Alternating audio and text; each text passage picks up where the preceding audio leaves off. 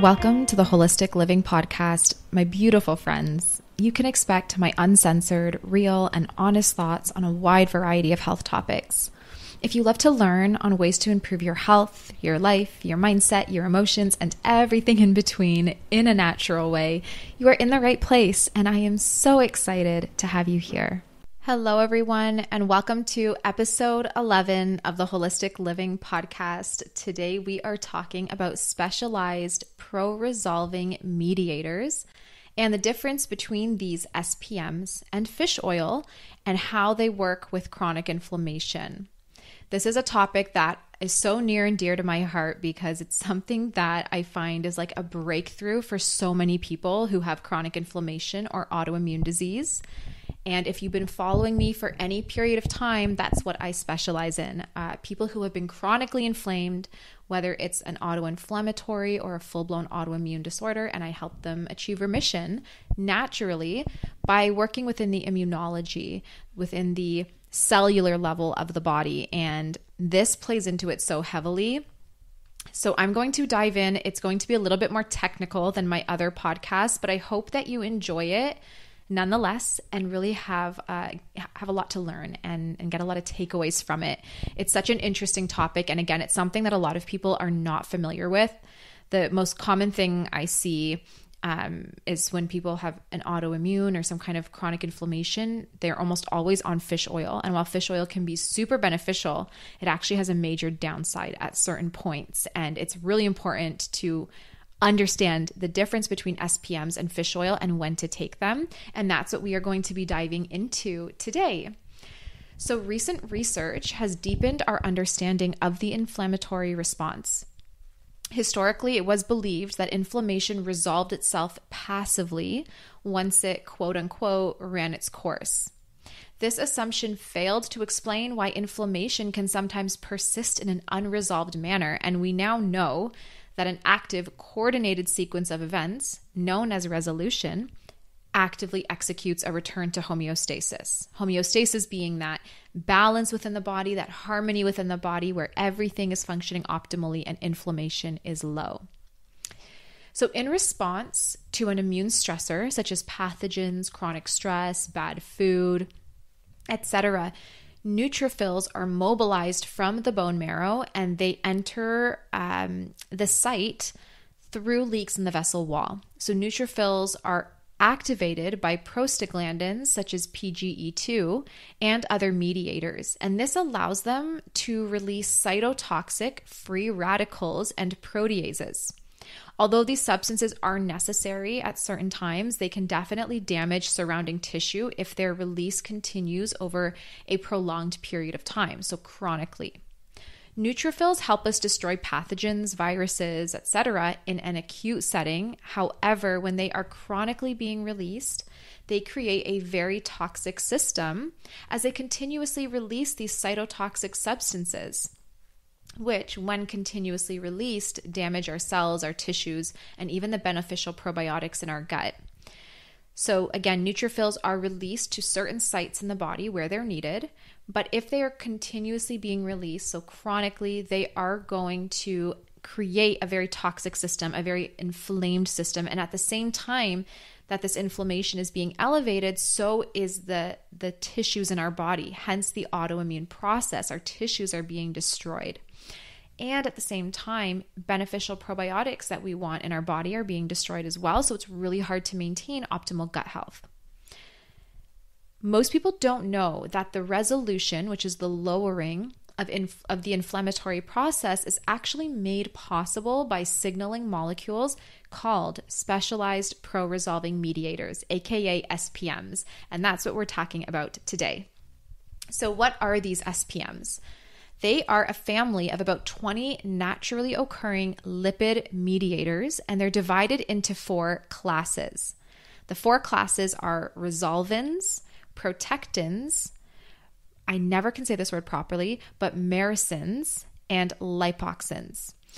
They are generated endogenously from essential fatty acids. Now, these unique signaling molecules will bind to receptors on the surface of the immune and epithelial cells and they are known as G protein coupled receptors or GPCRs. stick with me here. I know this is complicated, but we'll tie it all together. Resolution, so that lowering of inflammation, is an active, coordinated process that begins when apoptotic, which is the dying, neutrophils release these SPMs. This will halt further neutrophil activity and then initiate a return to homeostasis. So, before I continue here, these neutrophils that we talked about earlier that are released and then release these cytotoxic toxins and free radicals into the, into the different parts of the body that that's what they do. But when they're done when they go through apoptosis which means they're beginning to die they release spms which are anti-inflammatory. They are inflammatory resolving. And so as these neutrophils die off the inflammatory process that was initiated by these neutrophils resolves and then you're back into homeostasis now the problem here is when there's not enough spm release and so these apoptotic cells are not getting that signaling to the body, and then the neutrophil release continues, and the body continues to stay in an inflamed state. So, when macrophages phagocytize the SPM emitting cells, they become resolving cells that clean up the scene and set the stage for repair. SPMs play many other active roles in the restoration of homeostasis. So, by activating these receptors, SPMs enlist a complex process that, number one, limits further neutrophil influx into tissue. So, this is important to resolve that inflammation. Number two, SPMs will dampen the effect of eicosanoids and cytokines that started this inflammatory process in the beginning. They will also recruit macrophages that will come in and kind of help clean up. I like to think of macrophages like the little Pac Man, that little yellow guy that goes around and eats up all those little dots on the screen. That's kind of how I picture macrophages. They come in and they clean up, they eat up all the cells and the toxins and things that were in that area. And SPMs help recruit these macrophages to do that job. And then finally, they also will directly support tissue remodeling. So, the rebuilding and repairing of tissues, which is important when you have tissue destruction, you need these cells to be repaired and to heal so you can go back to that homeostasis. SPMs support the natural downregulation and containment of that immune activation that would otherwise persist and interfere with tissue integrity and function. So, the longer we have that immune activation, the longer we have that elevated inflammation, the tissues in our body are being damaged and destroyed, and so they become weakened and they're not functioning optimally. SPMs help restore those healthy tissues by stopping that inflammatory process.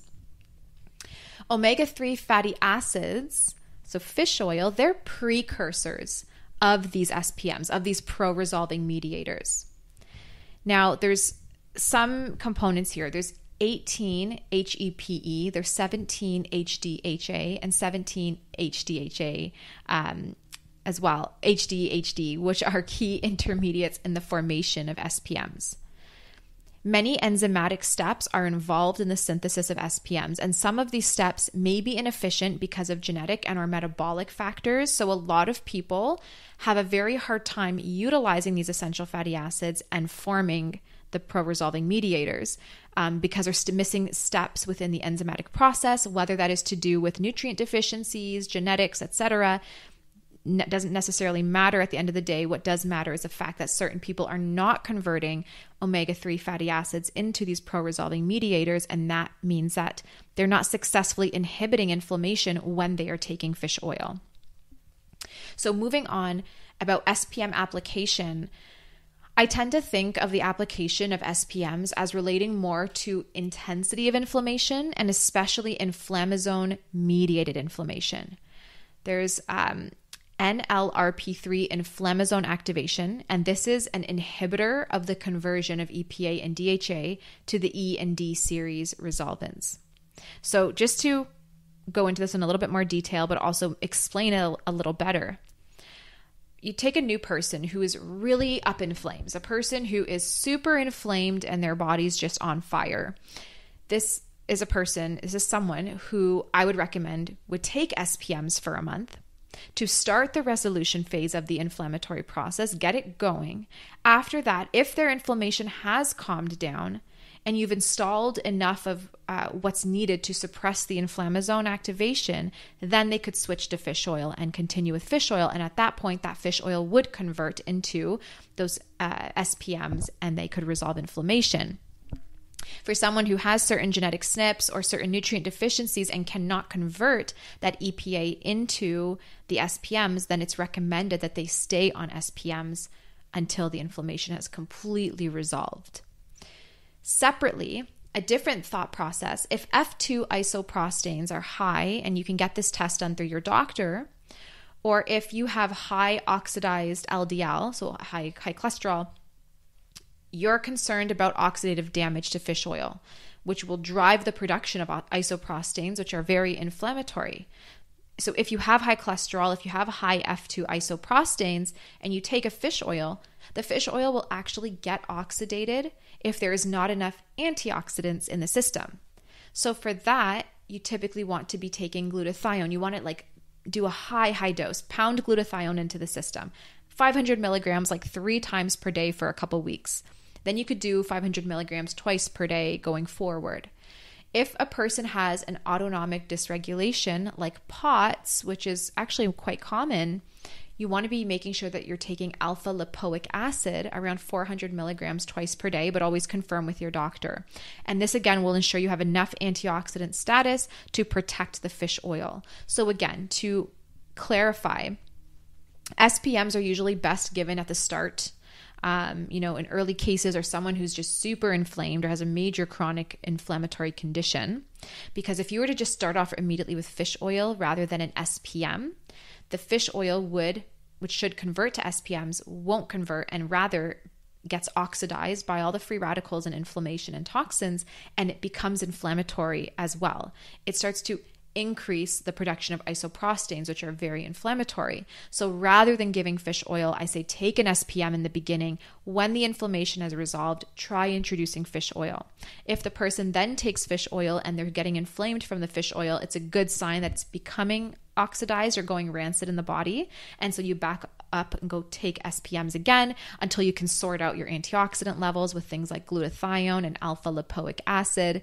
Once you've done that, you can come back and try fish oil again.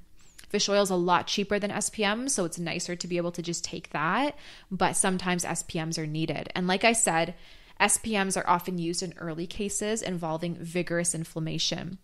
The people that I work with mainly are individuals who are very inflamed, and that's typically where we will do those pro resolving mediators. EPA and DHA should convert to the SPMs. And like I said earlier, the E series resolvins from EPA and the D series resolvins from DHA um, and the neuroprotectants from DHA, these are going to help lower that inflammation in the system. DHA specifically is more targeting of neuronal tissue, so nervous system and brain. This is why people who have memory issues or, or um, brain inflammation could really benefit from DHA because those D series resolvins are neuroprotectants, they protect the brain. And the EPA is going to help protect inflammation throughout the rest of the body. So it's good to have both. Again, EPA and DHA from fish oil should be converting into SPMs, but for many people who are so inflamed and therefore have a lot of um, free radical production, therefore eating up the antioxidants that they have available in the body, will now take EPA and DHA and it will become inflamed, inflammatory, or go rancid because there's not enough antioxidants to protect those fats from oxidizing. So, in an individual like that who really does not have a lot of antioxidant status hanging around, that's where SPMs are the best um, in that situation. So the activity of inflammasomes actually block the conversion of EPA and DHA into SPMs. So when a person, like a client of mine, has a lot of autoinflammatory activity going on, they are unsuccessful at converting those EPA and DHA or that fish oil to SPM. And so the fish oil is not helping them. And again, that's where you would take SPM early. It would quiet down the inflammasome activation enough that the conversion can happen. Then again, you can stop the SPMs and start taking EPA and DHA. Um, if neuroinflammation is a big issue, you can take just DHA on its own. But at that point, that's where you can make that switch. I always recommend, um, especially for certain people, that they go ahead and ask their doctor to go to get them an F2 isoprostanes level measured through LabCorp. And if the F2 isoprostanes comes back and it's high, I would not take any fish oil until they have lowered it with glutathione. So you take a bunch of glutathione, high levels of it, like I said, 500 milligrams, like three times a day for a couple weeks. Go back, get your F2 isoprostanes measured again. If it's come down quite a bit, then I say, okay, you can go ahead and do fish oil and it's okay. It's a sign, F2 isoprostane elevation is a sign of oxidative damage to lipids, aka fats, that will turn omega 3s into isoprostanes as well, which are inflammatory. So, this is another thing is I, I have a lot of clients, and I, guys, I know this podcast is so technical, and you might just be like, what the heck is she talking about? And I apologize if that's where you're at. I hope I've explained things enough giving you the infl- information without overwhelming you, but I'll try to clarify even more. I have a lot of clients that come to me and they say, I cannot have fat. Every time I eat fat, I am itching or I become inflamed. I just cannot handle fat.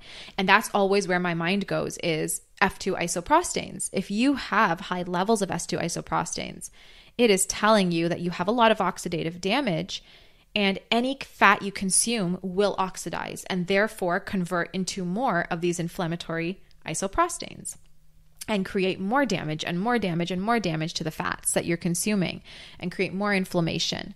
So, with someone who is not tolerating fats well, that's a good sign. And I would say start with doing a lot of glutathione and take SPMs. And if you start to feel better, then you can start taking fish oils down the road. ProResolve Omega is a supplement from Pure Encapsulations um, that I love, and it's what I would typically recommend to my clients. Um, unfortunately, SPMs are very hard to get in Canada. Unfortunately, it's easy to get in the US, but for us Canadians, we are kind of uh, we have the short end of the stick. We definitely can't get them easily. So, for someone who can't access these easily, I would say if you're going to do a fish oil, just take high levels of glutathione for a couple weeks before then during the the supplementation of the fish oil as well just to make sure you have some antioxidants available to prevent the fish oil from turning into isoprostanes um, but the ProResolve Omega, Omega is designed with a unique blend of marine oils. It's concentrated for specialized pro resolving mediators, EPA, DHA, and DPA, which will help support the natural resolution of the inflammatory process, immune homeostasis, and even cardiovascular health and brain health. So that's my go to supplement, not sponsored by them, just one that I love. Um, at the end of this, though, just to recap, when someone is extremely inflamed, I would suggest starting off with SPMs, which are those standard pro resolving mediators. And then as inflammation comes down, you can switch to just basic fish oil, that EPA and DHA, which can come from like a cod liver oil. And if you are to take cod liver oil, just make sure you're taking some glutathione as well to prevent the conversion to those inflammatory isoprostanes, which will then trigger more neutrophil production, more damage to tissues, more inflammation, more flaring of the autoimmune process. I know it's so difficult to know what to do and how to do it and when when you go on social media or YouTube and, and people are always telling you do this and do that. And I know a lot of people promote fish oil when you have autoimmune. And yes, they're absolutely right to promote fish oil. It's amazing and it helps so much. But in certain situations, if you are inflamed and you've been chronically inflamed for a while, there's a good chance you have high F2 isoprostanes, really low antioxidant status. And so any fats you take will just turn into more of those isoprostanes and cause more inflammation. And so that's where it's really important to take a step back and say, okay, I'm taking fish oil, but am I on glutathione if that's appropriate for me? Or do I have high antioxidant status?